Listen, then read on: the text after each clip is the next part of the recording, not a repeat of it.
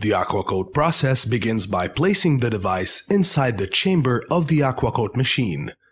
The machine then pumps down to create a vacuum. Once the pressure has been reduced, the machine then introduces the monomer, which is an invisible vapor coating, allowing it to permeate every aspect of the device.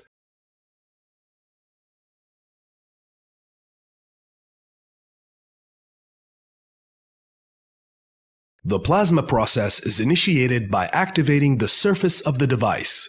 This invisible technology, which is 100 times thinner than a human hair, is chemically bonded to the surface of the device at the molecular level from the inside and the outside. The aquacoat process is terminated by introducing air to the chamber and returning it to atmosphere pressure. Aquacoat is the solution to water safe your mobile device.